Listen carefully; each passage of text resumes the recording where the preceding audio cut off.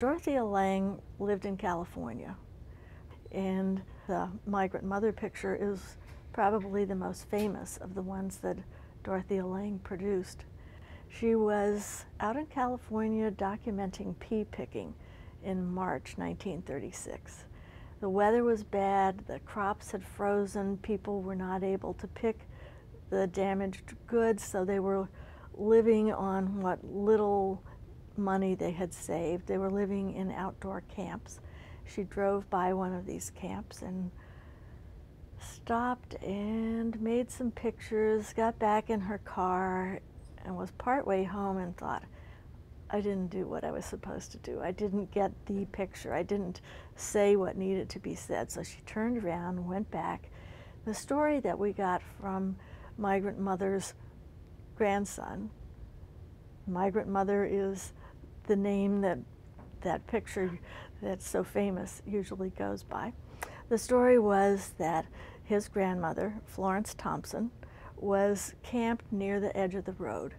Her husband and older son had gone to find whatever they needed to keep the car going. Apparently they had poked a hole in the radiator, needed something to patch it up with so that they could make it to the next farm next place to pick crops. So Florence Thompson was back at the camp with the children, no cell phones, no way to communicate. How were they going to find each other when the husband and son came walking up the road?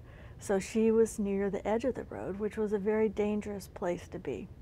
These migrant laborers were extremely unpopular in California. There was already a picking arrangement for the crops out there. They didn't need these Dust Bowl Okies who were coming in from the drought areas of the United States. The farmers didn't want these new people coming in. The townspeople didn't want them camped on the side of the road, camped in their towns, didn't want to have to pay for their children to go to the school. So they were extremely unpopular. Police were hired to clear these people out make them move on to another part of the state or the county.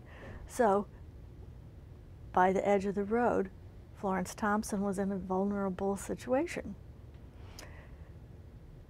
That's who Dorothea Lange photographed. She saw this woman with several small children, a teenage daughter and some younger children, and began working her way up to her. Apparently, Dorothea Lange was very good at engaging people in conversation and then just sort of disappearing into the atmosphere. She talked about herself as becoming invisible as she worked.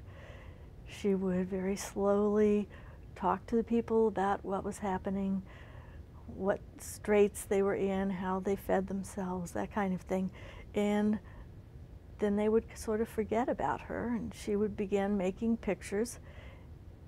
And that's what she did with Florence Thompson.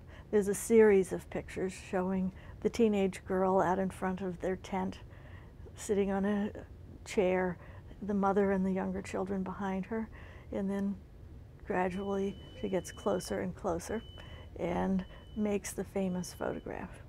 And she said she knew as soon as she had made it that that's what she needed to accomplish and went back home.